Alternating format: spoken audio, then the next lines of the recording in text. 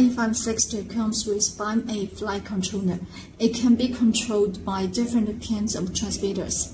Today I'm going to introduce how to set AT9 Pro or AT10II transmitter to operate A560. You can also check this video tutorial for how to use AT9 Pro or AT10II together with Byme-A flight controller. AT9 Pro and AT10II are compatible with R12DS, R12DSM, R9DS, R6DS, and R6DSM receiver. Considering the size of the body of A560, and A560 is more suitable for mini receivers, so I use R6DSM and AT9 Pro as an example.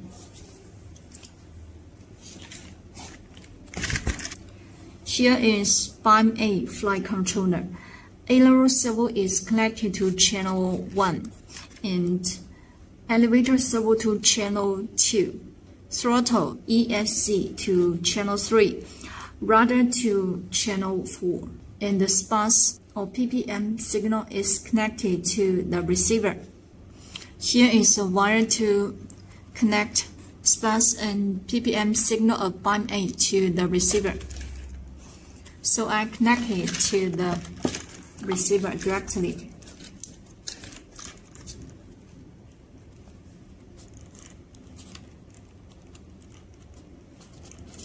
Here is the right connection of the receiver and make sure the polarity is not reversed.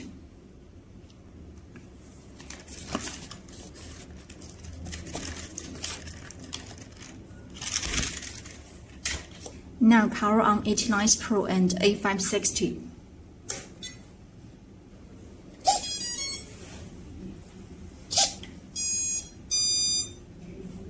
I have already bound the R6DSM to the transmitter. So there is a signal tower on the screen of the transmitter, which means successful binding and we can see the LED um, R6DSM is blue or purple, which means it is bus signal. Byme-A supports standard bus or PPM signal, so please make sure the receiver is in bus or PPM working mode.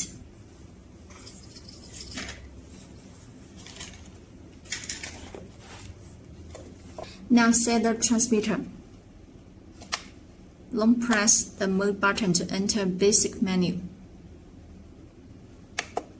Model type, and we can select the model type to Acrobatic.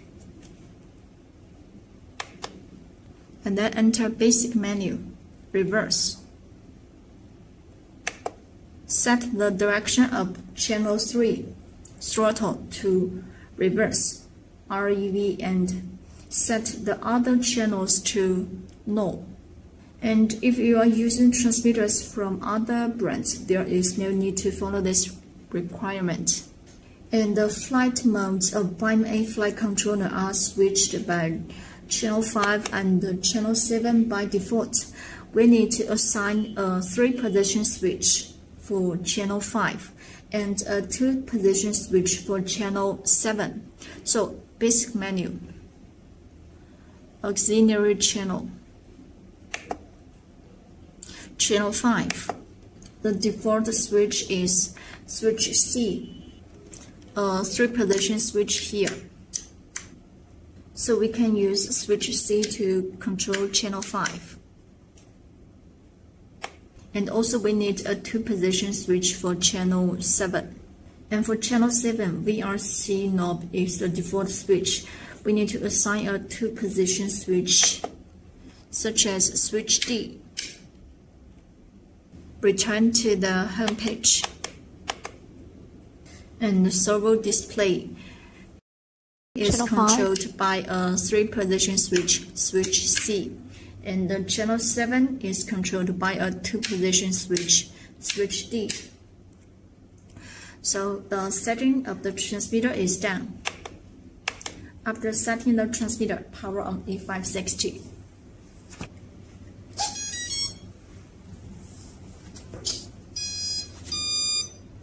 The self-check of the flight controller is done, and first attitude calibration. You can place A560 on the ground to calibrate the attitude.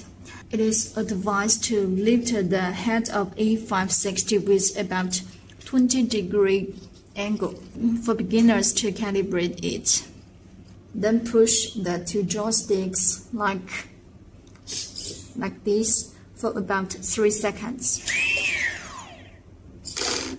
The green LED of Byme A will flash once. It is also normal for the control surface to spin or the motor to rotate once at this time. After the attitude calibration, I'll introduce the flight modes of Byme A. We use Byme A V2.0. Byme A V2.0 has six flight modes. We have already assigned switch C, and the switch D to switch the flight modes. And you can refer to the pictures on the screen. Push switch D up. It is stabilize mode when switch C up and gyro mode when switch C central and manual mode when switch C down. In manual mode, there is no gyro function. So the control surface won't move when you turn the aircraft. And push switch D down. This multi-rotor vertical mode when switch C up. In acrobat mode when switch C center. In fixed wing vertical mode when switch C down. And please note the value range of channel 5 and channel 7 corresponding to the flight mode is shown in a picture here. When using transmitters from other brands, please refer to it to switch the flight modes. And then let's test gyro phase. Switch to stabilize mode. Push switch C up and also switch D up. Hold A560 and turn it to check the movement of the control surface of aileron elevator, and rudder. If the gyro phase is reversed, please press the binding button on Byme A to change gyro phase. Here it is. And then switch to manual mode. Push switch C down and switch D up. It is manual mode now. And push the joystick of aileron elevator.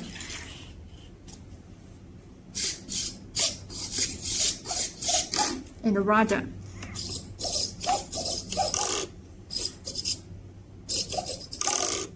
Check movement of the control surface.